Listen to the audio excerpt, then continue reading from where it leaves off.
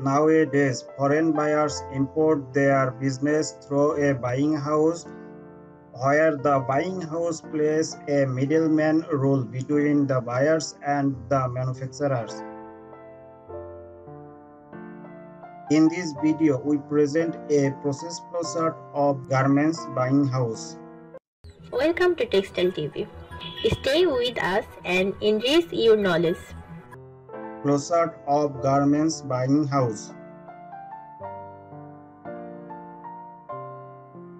Contact with the buyer.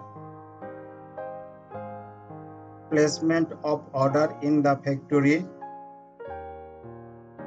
Consumption. Costing. Making an approval of product developed sample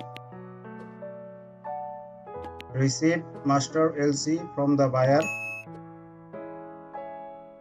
provide back-to-back LC to the supplier, follow up the production, online inspection by buyer's QC, final inspection, complete all the documents for shipping,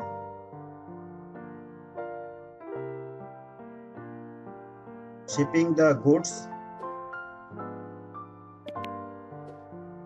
Contract with bank.